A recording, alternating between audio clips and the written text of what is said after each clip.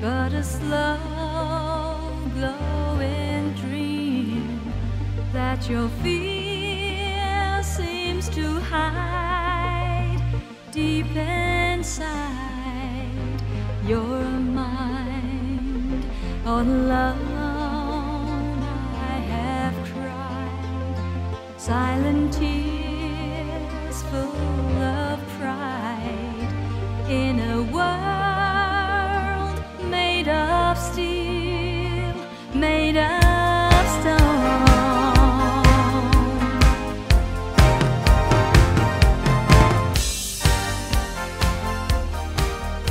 think of someone I really, really like.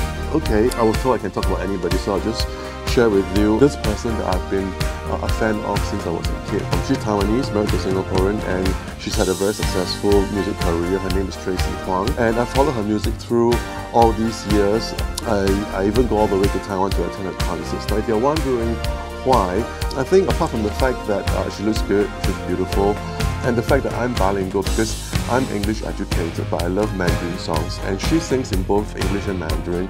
So that's the reason why I think I was so hooked on to, to her music. I, mean, I just buy one album, I buy her album, and I get to enjoy English and Chinese songs.